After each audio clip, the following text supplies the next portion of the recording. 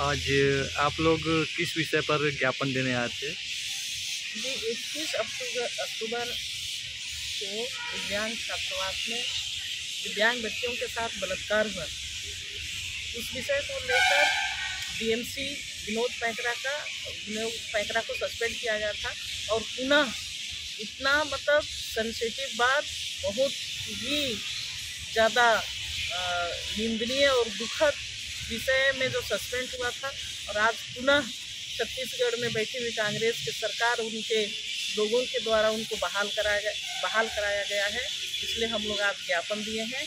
और इसमें इतना मतलब गंभीर विषय है, गंभीर मामला है। विकलांग बच्चों के साथ कर, साथ बलात्कार और उसमें बहाल करना और उसी विभाग में। ये सबसे बड़ी शर्म की बात है। इसलिए आज हम लोग ज्ञापन दिए हैं। और इसको यहाँ से निलम नहीं हटाते हैं तो हम लोग सड़क से सदन तक बैठेंगे।